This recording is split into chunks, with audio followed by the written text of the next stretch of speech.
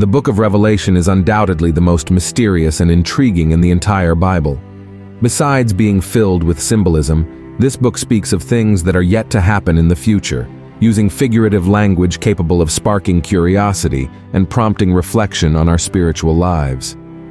In Revelation, we encounter a series of prophecies and visions delivered by God to the Apostle John while he was imprisoned on the island of Patmos. John described various events, including the seven trumpets played by seven angels, each triggering a series of judgments upon the earth. Additionally, seven angels are mentioned who pour out seven bowls, each bringing different plagues from the Lord upon those who rejected his salvation. But what few people know is that, among these apocalyptic visions, the Apostle John mentions four women. They are not characters to be ignored. They play crucial roles in the fulfillment of prophecies about the return of Jesus and the end times. It is about these four mysterious figures that I want to talk to you today. After all, who are they? What do they represent? And more importantly, with which one do you identify the most? Keep in mind that your answer may determine which side you will be on when the prophecies are fulfilled and Jesus returns. But before we delve into that, I ask that you subscribe to my channel. Just click on this button to subscribe, right below the video. A bell icon will appear on the side. Click on it as well and select the All option so that you receive my upcoming videos directly on your phone. And the first woman I want to talk to you about is Jezebel. Chapter 2 of the book of Revelation mentions this woman in a letter to the church of Thyatira. Take a look at what the Bible says. To the angel of the church in Thyatira write, These are the words of the Son of God, whose eyes are like blazing fire, and whose feet are like burnished bronze. I know your deeds, your love and faith, your service and perseverance, and that you are now doing more than you did at first. Nevertheless, I have this against you. You tolerate that woman Jezebel who calls herself a prophet. By her teaching, she misleads my servants into sexual immorality and the eating of food sacrificed to idols. Look at this. Jezebel is a woman who first appears in the Old Testament. She was the wife of an Israelite king named Ahab and was known for her worship of pagan gods, especially Baal, and for persecuting the prophets of the Lord. Jezebel was a very cruel and manipulative queen who used her influence over the king to promote idolatry and oppose the worship of the Lord. Her story is told in the books of 1st and 2nd Kings, and the end of her life was quite tragic. She was thrown out of a palace window, and her body was consumed by dogs, as prophesied in the Bible. In the book of Revelation, Jezebel represents religious hypocrisy and sexual impurity. This woman symbolizes those who claim to serve God, but are entangled in some form of sin related to the flesh. Many people profess to be Christians, but are deeply addicted to pornography, betray their spouses, or even lead promiscuous lives, engaging in sexual relationships with various people, and in many cases, even with the same sex. If you claim to be a child of God but act contrary to that claim, engaging in sexual relations with multiple people, betraying your spouse, or using sex to manipulate others, know that you are under the influence of Jezebel and need to change your ways as soon as possible to avoid the consequences of sin. Continuing in the chapter, God issues a warning to those who do not repent of their sins and continue to be under Jezebel's influence. He says the following, I have given her time to repent of her immorality, but she is unwilling. So I will cast her on a bed of suffering, and I will make those who commit adultery with her suffer intensely, unless they repent of her ways. I will strike her children dead. Then all the churches will know that I am he who searches hearts and minds, and I will repay each of you according to your deeds. The second woman, the woman clothed with the sun. In chapter 12 of Revelation, the Apostle John provides details about this woman. Let's see what the Bible says. A great sign appeared in heaven, a woman clothed with the sun, with the moon under her feet and a crown of 12 stars on her head. She was pregnant and cried out in pain as she was about to give birth. For us to understand who this second woman would be, we need to go back once again to the Old Testament, specifically to Genesis 37, 9, 11. In these verses, a young man named Joseph told his parents and his eleven brothers about a dream he had where the sun, the moon, and eleven stars bowed down to him. Jacob, the father of that young man, questioned his son, saying, So you mean to tell me that I, your mother, and your brothers will bow down to you? As you may know, Jacob had his name changed by the Lord, and he came to be called Israel, and each of his sons represented one of the twelve tribes of God's people. But the question remains, who would this woman clothed with the sun be? Why does the Bible mention her pregnancy and that she is about to give birth to a son? Let's now read the sequence in Revelation chapter 12. Then another sign appeared in heaven, an enormous red dragon with seven heads and ten horns and seven crowns on its heads. Its tail swept a third of the stars out of the sky and flung them to the earth. The dragon stood in front of the woman who was about to give birth so that it might devour her child the moment he was born. She gave birth to a son, a male child, who will rule all the nations with an iron scepter. And her child was snatched up to God and to his throne. The woman fled into the wilderness to a place prepared for her by God, where she might be taken care of for 1,260 days. Based on all this information, we can say that the woman clothed with the sun is, in fact, the nation of Israel. The prophecy indicates that she was about to give birth to a male child who would rule all nations with a rod of iron. This text also states that this child was caught up to God and his throne, which can only represent Jesus, who came into the world in human form in Bethlehem, an Israelite city. Additionally, Jesus' parents were direct descendants of Abraham. Do you see how everything makes sense? You might be wondering now, but Pastor, I am not Israeli, so how can I have any connection with this woman? I don't know if you're aware, but the Jewish people are very religious, praying often, fasting regularly, attending synagogues, and being closely connected to their fellow believers. However, there's a catch. Jews still reject Jesus as their savior, and do not believe that he is the Messiah sent by God to deliver their people from sin. Similarly, you might be a religious person, striving for a spiritual life with God and doing what is right, but you may be missing the crucial aspect. You don't believe in Jesus or what the Bible says about him.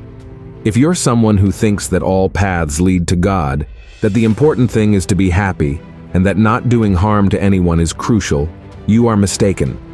Jesus himself said that whoever does not believe in him as their Savior will be condemned eternally because he is the only way, the truth, and the life, and no one comes to the Father except through him. Therefore, place your faith in Christ today, because only he can ensure your salvation and eternal life. He alone paid the price for your guilt and sin. The third woman, the great harlot, this is the woman that generates the most confusion among Bible scholars. The Great Harlot, also referred to as the Great Whore in some versions, is mentioned in chapters 17 and 18 of the book of Revelation. Let's see what the Apostle John wrote about her. The woman was dressed in purple and scarlet, and was glittering with gold, precious stones, and pearls. She held a golden cup in her hand, filled with abominable things and the filth of her adulteries. The name written on her forehead was a mystery. Babylon, the great the mother of prostitutes and of the abominations of the earth. I saw that the woman was drunk with the blood of God's holy people, the blood of those who bore testimony to Jesus. When I saw her, I was greatly astonished. Look at this, brothers and sisters. Despite the debate over who this woman might be, the vast majority of theologians believe that this great harlot represents some form of false global religious system that will be present on earth during the seven-year period of tribulation. There will be a time when the entire world will be deceived by the Antichrist and the false prophet, and many will be part of a type of religion that preaches false peace and unity among peoples. As you saw in the passage we just read in Revelation 17, this woman is referred to as Babylon. If we go back to the Old Testament, we'll find a passage that talks about a city called Babel, whose inhabitants decided to build a tower to reach the heavens. After God poured out his wrath on those people, confusing their languages so they could no longer communicate, Babel became Babylon, and it was there that evil began to multiply, including the rise of various false religions and the worship of false gods. It's no coincidence that the Apostle John calls her the mother of prostitutes and of the abominations of the earth. And this woman, in the end times, will be greatly responsible for encouraging the inhabitants of the earth to commit all kinds of sins against God, especially sexual immorality and spiritual idolatry, as if all of this were a true expression of faith. Another characteristic of this false world religion is that it will be in great conflict with Christians and Christianity. Notice that the Bible says she was drunk with the blood of the saints and the witnesses of Jesus. In other words, all those who serve Christ during the tribulation will be persecuted and likely killed by her. But those who think that the great harlot will only begin to act in the world after the rise of the Antichrist are mistaken. In reality, her spirit already dwells on earth, and she has been acting right before our eyes, causing religious groups that present themselves as representatives of Christ to accept and even encourage the sins of idolatry and immorality among their members. Recently, for example, Pope Francis approved the blessing of same-sex marriages by Catholic priests. I know this may seem beautiful, modern, and inclusive, but it goes completely against the Word of God.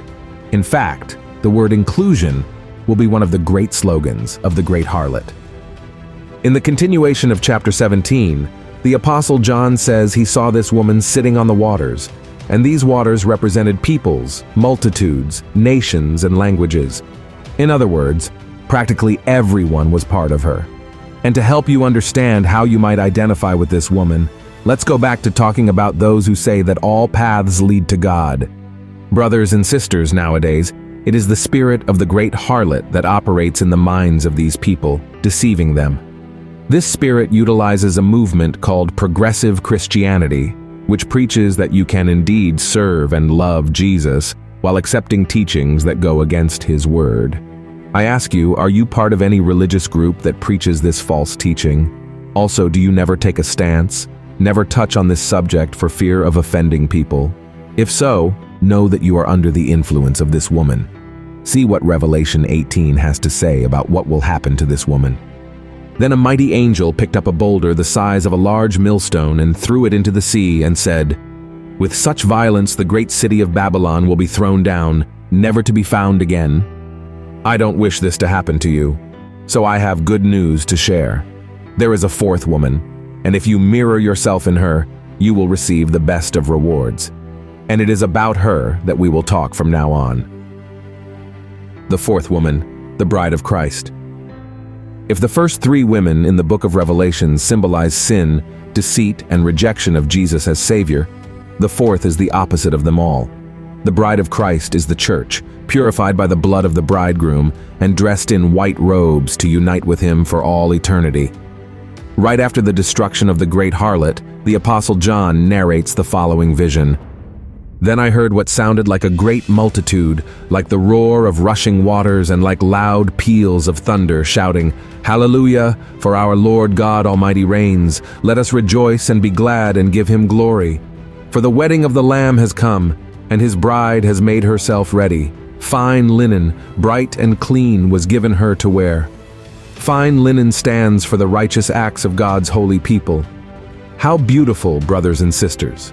The image of the bride in Revelation is part of a larger vision that includes the celebration of the marriage supper of the Lamb, symbolizing the final union and eternal communion between Jesus and the church after his return. The bride is described as adorned and ready for the wedding, symbolizing the purity and holiness of the church. The encounter of the fourth woman with Christ symbolizes that good has triumphed over evil and God has fulfilled his promise to save and redeem those who have been loyal to him.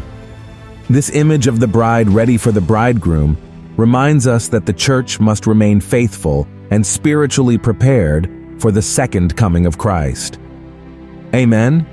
My brothers and sisters, this will be the most exciting moment in history. The parting of the Red Sea, the manna falling from heaven, the chariot of fire that came to take Elijah, the multiplication of loaves and fish.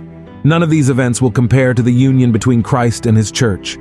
I sincerely hope that you long for this moment more than anything else in your life. And I pray, my brother and sister, to be present at this wedding and to look to the side and see you dressed in the purest white linen, ready to spend eternity with Jesus. Amen? If you enjoyed this message, Share it with your friends and family and subscribe to my channel. May God bless you mightily. A big hug.